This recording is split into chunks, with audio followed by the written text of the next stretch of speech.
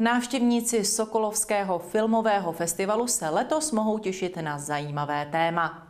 Filmová nabídka i diskuze budou řešit téma kopírování. Letošní ročník tradičního filmového festivalu v Sokolově bude mít pro diváky ožehavé téma. Zaměří se totiž na problematiku kopií.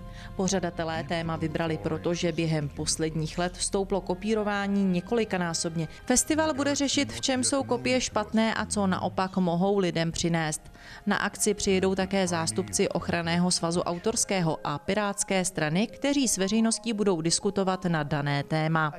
Co si představit pod kopí, tak um, možná jste někdy něco stáhnul, nebo jste si třeba půjčil od babičky recept, nebo třeba máte děti a to jsou vaše kopie a oni třeba budou mít jednou děti a budou se bát, že ty děti budou jejich kopie, takže kopie nás provází a obzvlášť v dnešní moderní technické době je kopie um, absolutní součástí našich životů a hodně se o tom mluví, piráctví, nepiráctví, osa, neosa, k čemu se bude částečně i vztahovat ten program, jednak diskuze, kde právě bude přítomen vysoký pohlavář z osy a zastupitel pirátské strany, takže čekáme, co na to diváci, mohlo by to být, myslím, docela zajímavý. Já osobně se na to docela těším.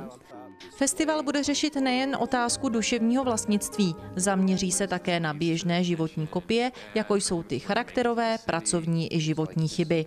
Diváci navíc uvidí filmy s podobnou tématikou. Festival také přiblíží život dnešní populace, která tráví většinu svého času na různých webových stránkách.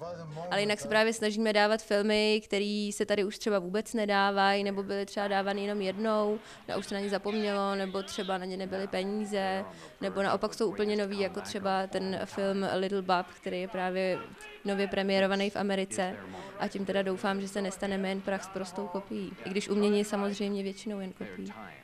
Velký filmový festival Kopie začíná v pátek 18. října v Sokolovském kině Alfa, kdy od 17 hodin můžete vidět film Věrná kopie a od 19 hodin proběhne slavnostní zahájení. Program bude pokračovat až do neděle. Bližší informace je možné získat na webových stránkách filmsokolov.cz.